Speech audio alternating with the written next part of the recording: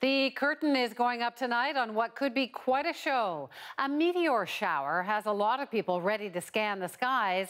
The National's science correspondent Bob McDonald's one of them, and he's here with us. What's so special about this meteor shower? Well, Wendy, uh, the scientists are excited about this one because we've never seen it before. The comet that's responsible for it was only discovered a few years ago, and we don't know how active this comet is. A meteor shower happens when the Earth passes through the tail of a comet, and if this comet has been really active and it's been spewing out a lot of dust and dirt, we'll get a really great show. But if it's been kind of quiet, then maybe it'll be a dud. I'm not going to make any predictions because it could go either way. We also have a great night tonight because it's visible all over North America and there's no moon. So if it is a show, it'll be a good one.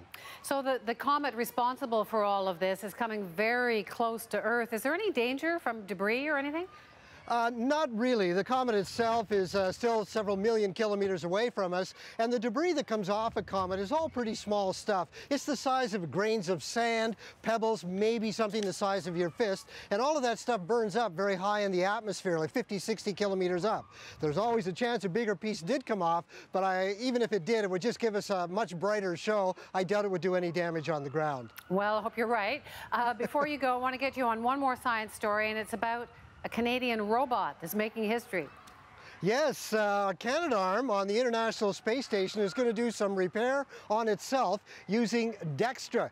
Dextre is a big hand that was made for Canadarm. It's also Canadian technology, and it's outfitted with tools and grippers and all kinds of things, and it's going to repair two cameras that are on the Canadarm. This is the first time it's been done entirely robotically. Usually it's been done by astronauts, and they're hoping that in the future this will be the way to go. So, yay Canada in space once again just our technology. Yay, Canada. Thanks, Bob. Okay, Wendy. Bob McDonald joining us tonight from Victoria.